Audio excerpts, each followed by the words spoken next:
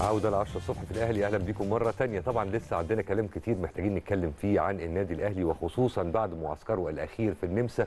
وإلى أي درجة هذا الأمر كان فعلا من الأمور الجميلة اللي حصلت مؤخرا أنه أفضل استعداد بالمعنى الحرفي للكلمة للموسم الجديد. وكان معسكر ناجح بكل المقاييس. طبعا بنتمنى يعني التوفيق للنادي الأهلي في كل المنافسات اللي جاية سواء محليا أو قاريا أو حتى عالميا. ويا مكترهم. يعني بنتكلم على دوري وكاس وسوبر إفريقي ومصري وكاس العالم للأندية. بطولات كلها الحقيقة مهمة جدا جدا بالنسبة لجماهير النادي الأهلي.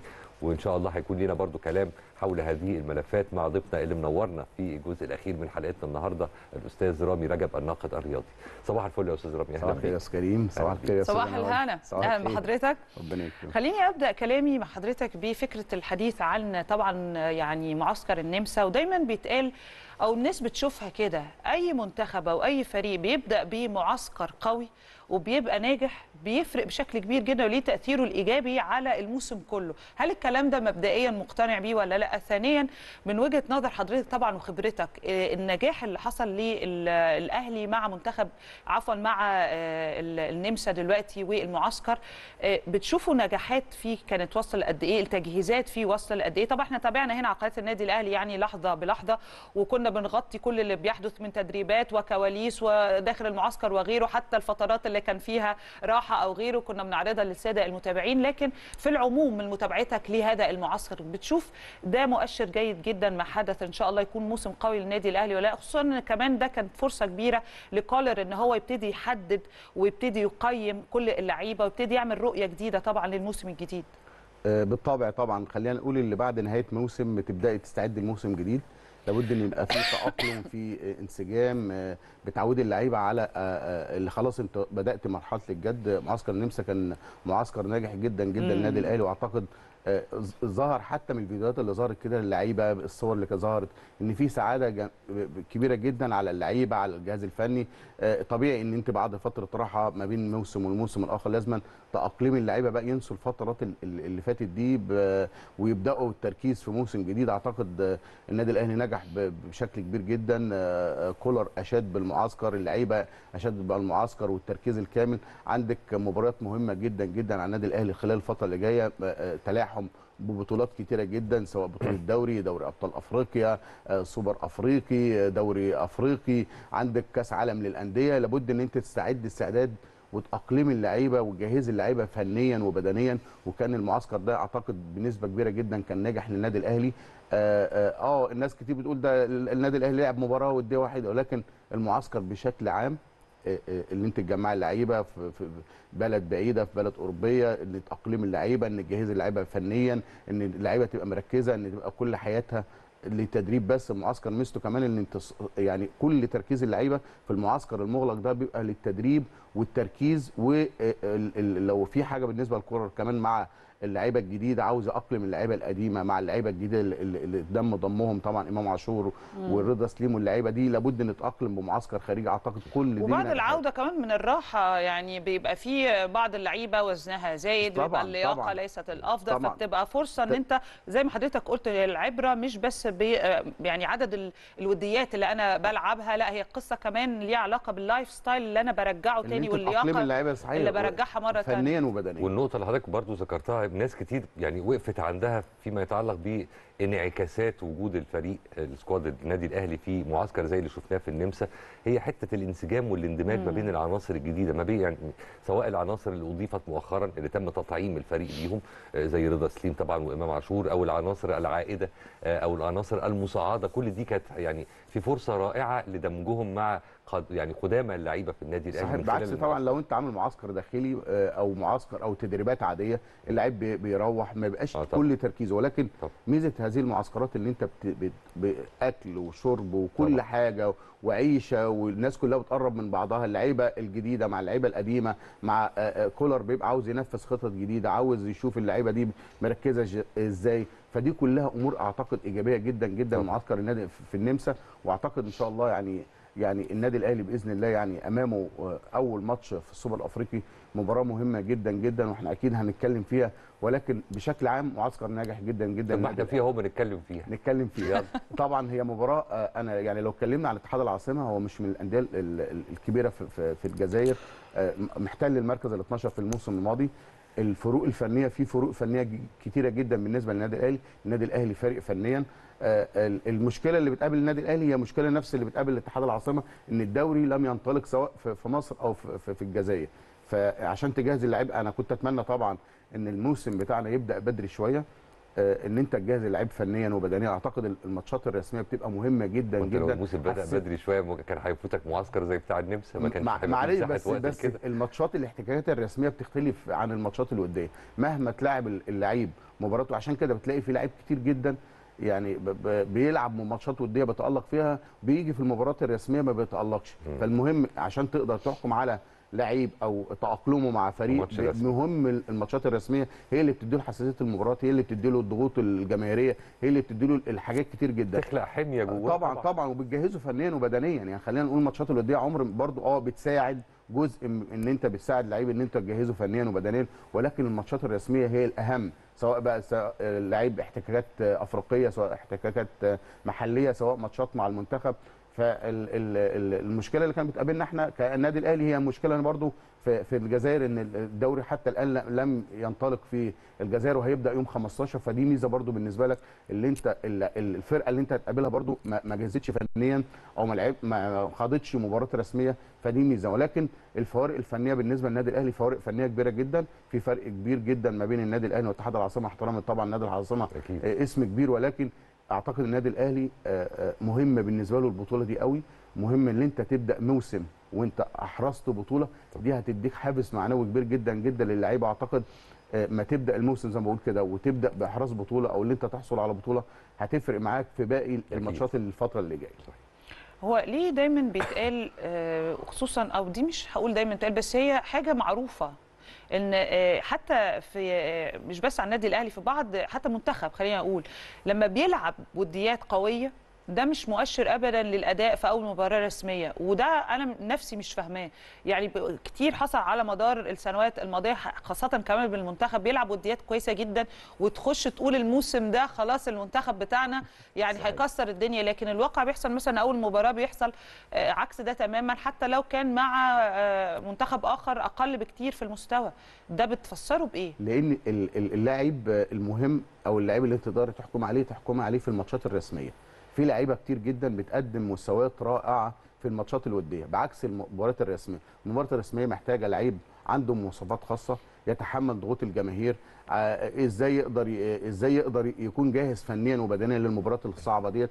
المباريات الودية بالنسبة له ممكن يكون الضغوط النفسية مش عليه كبيرة جدا فبيقدر يظهر إمكانياته. ولكن اللاعب لما بيتعرض لضغوط نفسية وضغوط جماهيرية وخاصة لو ماتشات كبيرة سواء بقى في نهائيات في, في ماتشات حاسمة بتظهر بقى معدن اللعيب ال- هل يقدر؟ عشان كده هتلاقي في لعيبة كتير كمان وبالعكس على فكرة في لعيبة كتير في الماتشات العادية ما بيظهروش. في الماتشات الرسمية أو الماتشات الكبيرة بيظهر بشكل كويس جدا. يعني بالعكس يعني فعلا صحيح. هتلاقي محمد شريف محمد شريف في ماتشات القمة معظم أهدافه هتلاقي في أهداف كتير في حط- ح- يعني وحسين. الشحات عنده نفس الخاصية. دي آه في لعيبة طبعا. كتير جدا لما طبعا. بتلاقي الماتشات عليهم ضغوط كبيرة جدا وعندهم يعني الماتش حاسم بيظهروا وعلى العكس في لعيبة كتير بتلاقيها بتلعب في الماتشات العادية بيظهر بشكل كويس ولكن يجي في الماتشات الرسمية أو الماتشات الحاسمة ما بيقدم بيقدمش نفس انت عارف المستوى. شوية جت في بالي مقارنة ما بين مذيع الهوا ومذيع التسجيل يعني أيوة. آه، فعلا مذيع الهوا يديك أفضل ما عنده على الهوا لكن لو سجل ممكن يتلخبط وتلخبط ف- وممكن تعيد أكتر من مره بلاش تفسير بس هي كده فعلا. صح صح. يعني دي بقى فرق الخبرات. الخبرات اللي بتفرق في حاجات زي ديت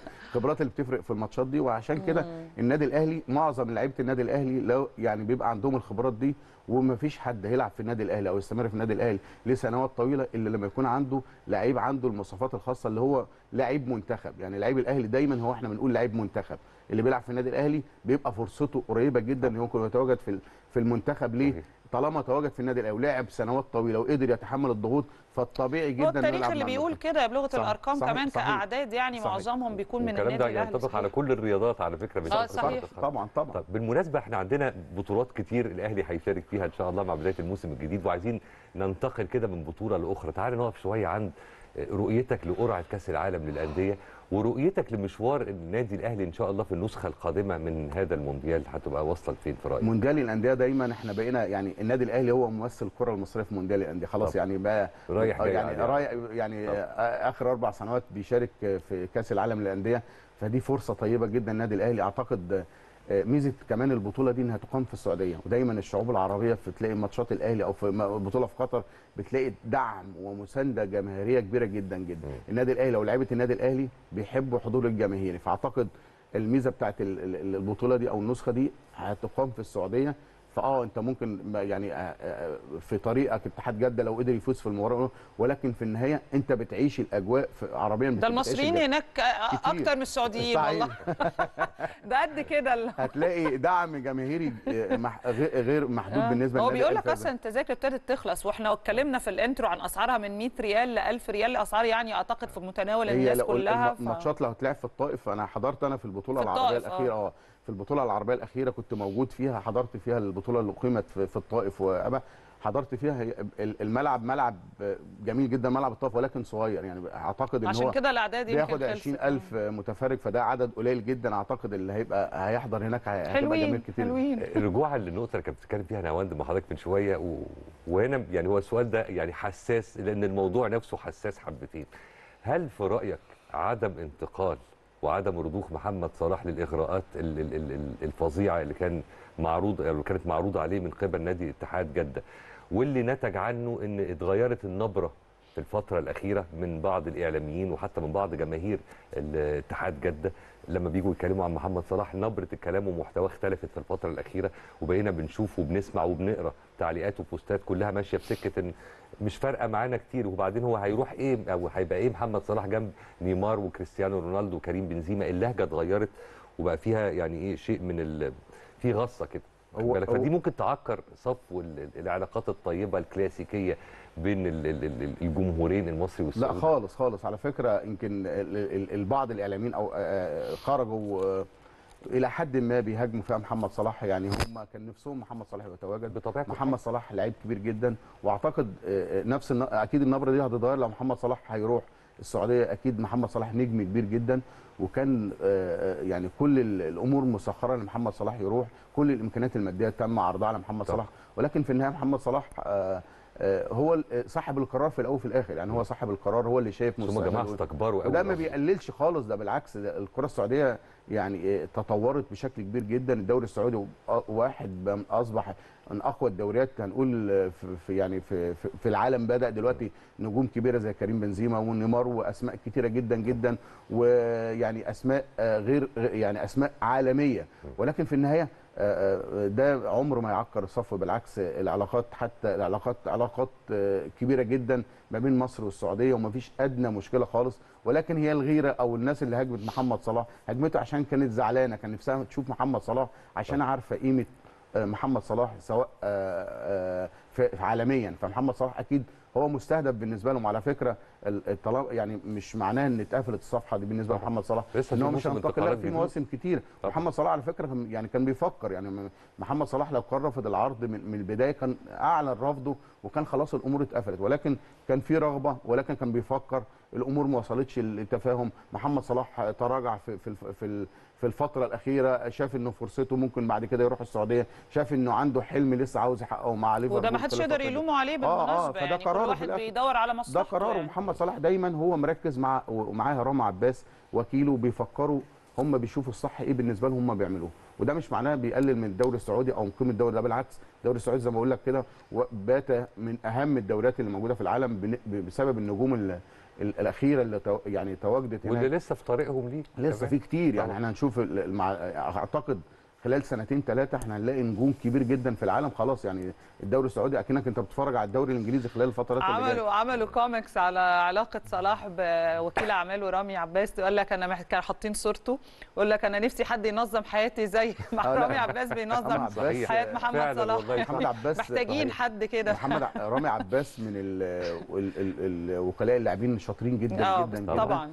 ما فيش قرار بيتاخد محمد صلاح إلا بعد ما يعني يرجع لرامي عباس. ورامي عباس مركز قوي قوي قوي حتى ما بيخرجش الإعلام خالص يعني هتلاقي رامي يعني أيوة بعيد عن الإعلام سواء أيوة. إعلام داخلي إعلام خارجي إعلام أوروبي هو مركز مع محمد صلاح عنده خبرات كبيرة جدا وده سبب من ضمن الأسباب اللي نجحت محمد صلاح محمد صلاح لو ومحمد صلاح نفسه الحقيقة لا لا ما- يعني ال ال ال خلي بالك هو لو ال ال التفكير مش ماشي مع محمد صلاح مش ه- يعني مش هيبقى مش هيستمروا. مع بعض طبعا إنما طبعا. النجاحات اللي حققت ب- بمحمد صلاح بسببها طبعا تفكير محمد صلاح تركيزه آه، عنده هدف عاوز يحققه واللي مساعده في كده إن هو عنده وكيل لاعبين ناجح جدا طبعاً. جدا بيقدر حتى لو في مشكلة كبيرة أو حتى لو في حاجة بيقدر يحلها ويقدر يفكر فيها فبالتالي الأمور وصلت لمحمد صلاح إن هو أصبح وبقى واحد من أفضل نجوم العالم وبالتالي رامي عباس برضو سبب النجاحات اللي بيحققها. محمد صلاح أكيد طيب هنتكلم عن قرعة كأس العالم بقى للأندية لأن إحنا عندنا فيها كلام كتير جدا.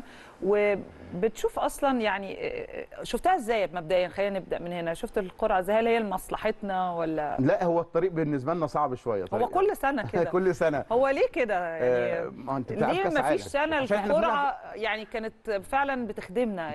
طول ما هتلعبي هتلعبي في مشاركات دولية أكيد ال- الفرق طول ما أنت عالمي. آه طبعاً. فهتقابل آه. أندية هتبقى عالمية صعب زيك. يعني أنت. ما بتشاركي في دوري آه، المحلي غير ما بتشاركي في آه. كأس الأمم الأفريقية غير ما بتشاركي في كأس العالم للأندية فطبيعي إن مشواري في كأس العالم للأندية أكيد هيبقى مشوار صعب أكيد الفرق يعني القرعة. نقدر نقول ما خدمتش قوي النادي ما خدمتش الأهلي. بس ولكن إحنا بس هي ثقافتنا دايما جنبتنا برضو تأيد آه. أو رحلت لقائنا مع آه. تأيد يعني ناس كتير قوي فرحت آه. ناس كتير قوي فرحت على من من فكرة إن إحنا الحمد لله لقائنا مؤجل وإن شاء الله يحصل بس في ال final مع مانشستر سيتي آه طبعا آه، يعني خلينا نقول كده كده إحنا بنشارك في كأس العالم وعندنا ثقة كبيرة جدا في اللعيبة وعندها خبرات كبيرة وأعتقد ال- ال- المشوار النادي الأهلي في كأس العالم للأندية يعني النادي الاهلي بقى اصبح علامه آه، في كاس العالم للأندية يعني دلوقتي ما ينفعش كاس العالم للأندية والاهلي مش موجود فيه آه حقيقه بجد آه والله. يعني دايما تلاقي النادي الاهلي والحمد لله النادي الاهلي مشرفنا حتى في النسخ اللي بيلعب فيها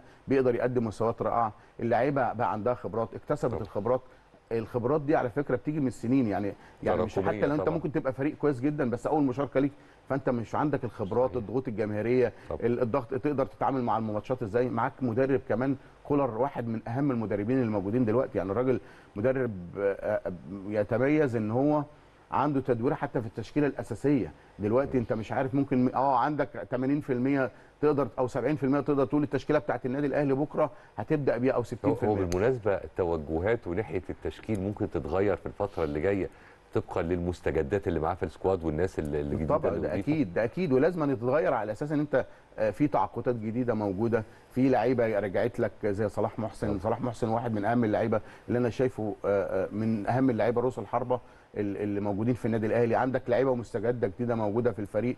فدي كلها عوامل أكيد. وفي النهاية كولر هو اللي بيختار التشكيلة الأمثل. ولكن عودنا كولر دايما تلاقي في لعيب بعيد عن بعيد عن التشكيلة الأساسية بيشارك وبيشارك بشكل أساسي. وده النقطة المهمة اللي إحنا ممكن نتكلم فيها برضو يا أستاذ كريم.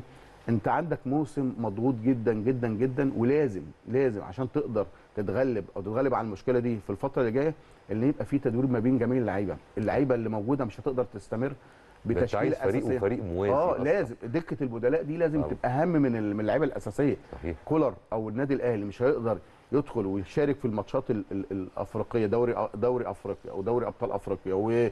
ولعيبه لعيبه مع المنتخبات لعيبة دولية هتلعب مع المنتخب هتلعب عندك بطولة أفريقيا آه، عندك آه، مشاركات أفريقية عندك تصفيات كأس عالم. دي كلها لعيبة هت- هتتأثر وهيبقى عليها ضغوط كبيرة جدا جدا جدا. فكولر يحل المشكلة دي إزاي؟ إن يكون عندك دكه بدلاء جاهزة فنيا وبدنيا تقدر في أي وقت لو اتصاب. خلي بالك لعيبة كتير يعني ربنا يبعد عنهم الإصابات ولكن مع ضغوط الماتشات دي مع الاحتكاكات الكتيرة مع الماتشات الثقيله. هيتعرض كتير جدا لعيبة الإصابات وده وارد. الاحتكاك انت بتلعب مثلا في أفريقيا في سوبر أفريقي دوري أفريقيا. آه، الدوري الأفريقي. المحلي الدوري. المحلي ضغوط. يعني اللي أنا شايفه كمان أنت الدوري المحلي هيبقى مضغوط جدا النادي الأهلي ممكن يلعب كل 48 ساعة مباراة عشان يقدر ي... عشان يقدر ي... يلعب مؤجلاته النادي الأهلي هيتاجل له ماتشات كتير الفترة اللي جاية بسبب مشاركاته يعني آه، هنرجع أفريقيا. شوية اللي جايين نقول نفس الكلام اللي كنا بنقوله آه آه هيجي بقى. آه هتلاقي النغمة. بتاعت ال- ال- الأهلي ليه بتاجله ما هو الأهلي طبيعي يا جماعة إنه بيلعب في دوري أبطال أو بيشارك آه، في بطولة مهمة أو بيشارك في سوبر أو. لعبته في المنتخب آه مثلا طبعا. يعني ف... فال... ال- عشان نقدر نحل المشكلة دي كولر لازم وهو أكيد متأكد من كده الراجل بيحسب وعنده آه، شايف عارف إيه مشاركاته إيه هيلعب كام ماتش يعني أنا حسبتها كده لو الأهلي قدر يوصل في مشاركاته اللي هيلعبها السنة الموسم الجديد ده هتلاقي حوالي ما يقرب من 60 مباراة ما يقرب من 60 مباراة. يعني دوري محلي بقى دوري أبطال أفريقيا. مشاركات كأس عالم مش... لو قدر يوصل لنهائيات في كل البطولات دي هتلعب أكتر من 60 مباراة 60 مباراة يعني الموضوع بالنسبة لك هيبقى صعب جدا جدا جدا ولابد إن كولر أكيد هو عارف عنده خبرات كبيرة جدا راجل مدير فني و- وحقق إنجازات كبيرة مع النادي الأهلي فعنده الخبرات الكبيرة انه يقدر يتعامل مع مع الأمر ده إن هو يجهز جميع اللاعبين فنيا وبدنيا وما يعتمدش على تشكيلة بس يعني آه، كانت مشكلة موسيماني مع النادي الأهلي إن هو كان بيعتمد على مجموعة من اللعيبة. حوالي 14 أو 15 لعيب. الباقي يعني ممكن يدخل لعيب في بعض الماتشات ويخرج ولكن كان معتمد على لعيبة أساسية فده هتلاقي كتير جدا اتعرضوا لإصابات في في الموسم مع موسيماني وهتلاقي فيه ناس كتير بعدت عن المستوى الفني. ولكن عند ميزة كولر إن هو بيدي الفرصة لجميع اللعيبة عارف جميع الإمكانيات وعنده ميزة كمان إن هو التعاقدات الجديدة أو أي حاجة بتيجي النادي الأهلي بتيجي من خلاله هو. فهو اللي مختار فعارف إمكانيات اللعيبه اللي هي ال- الاحتياجات اللي هي اللعيبة اللي هيتضموا لهم إيه ومحتاج إيه في المراكز ومحتاج كام لعيب. طبيعي يعني ما المدير الفني عادة هو اللي بيبقى لا دي ميزة شايف. بالنسبة له. لا بالعكس لو أنت بادئة موسم مع مدرب جديد فبيبدأ موسم جديد مع مع فريق ما, ما يبقاش عنده خلفية. موجود اللعيبة اللي آه، موجودة هو عنده بيكمل بيهم وبعدين يشوف. زي ما حصل مع موسيماني آه مثلا. آه إن- ولكن كولر آه، آه، الميزة إن أنت بتبقى لعيب آه، مدرب مستمر معاك من الموسم اللي فات. إن هو بيقدر يختار جميع اللعيبة اللي في- شد الاحتياج بيكون على دراية طبعا. على دراية. ومحتاج إيه؟ وهو اللي محتاج المراكز وبالتالي النادي الأهلي بيلبي له كل الطلبات. فدي. ميزة مهمة. ولكن أتمنى طبعا زي ما أقول لك كده إن كولر يقدر يجهز اللاعبين فنيا. المشوار آه، أعتقد بالنسبة للنادي الأهلي أكتر مشوار أو أكتر دوري أو أكتر ضغوط في مباراة أعتقد هذا الموسم بالنسبة للنادي الأهلي سواء بقى لعيبة دولية في منتخبات أو اللعيبة المحلية أو المشاركات الأفريقية. جميل. نخش تاني على كأس العالم للأندية لأن بصراحة أنا نفسي وأشعر. مش عارفة متفائلة 2024 للكره والله بجد النادي الأهلي. قد يكره آه، أشعر إن وعلى فكرة مش أنا لوحدي في كمان ناس كتيرة كانت اتكلمت في هذا الموضوع فكرة المشاركات المستمرة زي ما إحنا بنتكلم النادي الأهلي في كأس العالم للأندية وفكرة برضو إن آه، القرعة وإن كانت ليست الأفضل لكن هي فعلا جنبتنا شوية أو أخرت شوية المواجهات الكبرى. بتتكلم عن أوكلاند سيتي بعد كده آه، الاتحاد. أعتقد ماتش الاتحاد ممكن يبقى أقوى من أوكلاند سيتي بشكل كبير جدا ولا حضرتك ليك- رأي تاني؟ يعني لو عدينا أوكلاند سيتي والاتحاد كده يبقى إحنا عملنا شوط كبير جدا. الاتحاد جده أنا بالنسبة لي أنا أنا بالنسبة لي آه، هيكون أصعب مباراة للنادي الأهلي في ال- في هي دي المج- أول مواجهة. للأهلي آه؟ آه آه. آه يعني آه. هتبقى أصعب مباراة بالنسبة للنادي الأهلي في, في كأس العالم للأندية طبعا لأسباب آه، كتيرة. أسباب ان, إن اولا طبعا ال- ال- ال- الكأس العالم للأندية بيقام في السعودية هيبقى فيه حضور جماهيري جدا لاتحاد جدة وأنا. أتحاد جدة من الأندية الكبيرة جدا. صحيح. يعني أنا شفت ده في في في آه، في البطولة العربية. عنده جماهيرية كبيرة زي نادي الهلال من الجماهير ال- الناس كتير جدا جدا. أنا كنت طبعا. حتى في فندق اتحاد جدة في ال في ال في البطولة العربية. دايما حتى وأنا خارج كده من بره الفندق كنت كنت أنا موجود في نفس الفندق اتحاد جدة بتلاقي كمية جماهير كبيرة جدا قدام الفندق. بي- بي- بيآزروا وبيساندوا اتحاد جدة بشكل غير هناخد طبيعي جماهيرنا ونروح آه آه ما هو مش طبيعي صعبة. طبيعي طبيعي ماشي طبيعي إيه تاني آه، آه، النجوم اللي موجودة في اتحاد جدة كريم مم. بنزيما عندهم كمية من النجوم طبعا مم. من آه، الصفقات الجديدة. الصفقات الجديدة مم. دي هتدي الثقه الكبير جدا جدا جدا لنادي اتحاد جدة فكرة واعتقد إن هم بيلعبوا في أرضهم وفي ملعبهم وفي وسط جمهورهم اللي أنا فاهمه إن الماتش هيتلعب في استاد الجوهرة وده لو أنا مش غلطان ده ده الملعب الرئيسي لاتحاد جدة ولا أنا غلطان؟ أنا أنا ما عنديش معلومة بالظبط هيتلعب فين. بس ولكن سواء في كل الأحوال ايا كان الاستاد فهو في أرضهم في أرضهم وعلى يعني أكيد هيبقى في حضور جماهيري كبير جدا جدا جدا لاتحاد جدة دي كلها دي بت يعني بت ليه بتصعب المهمه على النادي الأهلي ولكن النادي الأهلي في الماتشات الثقيله دي بيقدر يظهر معدنه بيقدر آه خلينا نقول كل الماتشات صعبة ولكن أنا من وجهة نظري اتحاد جدة هيكون اصعب هتبقى أصعب مباراة على النادي الأهلي. خلينا نقف شوية عند الجماهير تحديدا لأن برضو اتقال والله أعلم مدى صحة هذا الكلام إن كان في مطالبات بإن هم يعلوا سعر التذاكر للمباراة اللي هتجمع ما بين الأهلي واتحاد جدة. يعني كمحاولة لتقليل م- م- عدد عدد جماهير؟ الأهلي. مش عارف لا الكلام ده لا لا ولا لا, لا. ما فيش ما يعني خلينا نقول في الأول وفي الآخر حتى لو أنت عليت سعر الحاجة وفي جماهير النادي الأهلي هتروح هتروح. يعني ما فيش حاجة اللي أنت اللي تقدر تتعلم على جماهير. النادي الأهلي. ده خاصة- بتستلف علشان تروح آه، ورا لا، لا، الأهلي لا، العالم أيوة كله. يعني. ما فيش ما أعتقدش حاجة زي كده. وبعدين بغض النظر عن أي حاجة هي مباراة يعني هي مباراة مش هتقدر أنت عاوز تصعب على الجماهير. الجماهير كده كده بتروح. يعني حتى في مصر هنا حتى لو الواحد يعني ممكن تلاقي شاب صغير عاوز يحضر ماتش للأهلي بيعمل أي حاجة عشان آه، يروح ما الماتش بيحصل. فما بتقفش قدامهم حاجات زي دي خالص. وهي في الأول وفي الآخر هي مباراة كرة قدم في النهاية في مباراة سواء النادي الأهلي أو اتحاد جدة هي هيبقى عرس قروي آه، عربي ما بين ناديين كبار سواء نادي. اتحاد جدة بجماهيره العريضة و...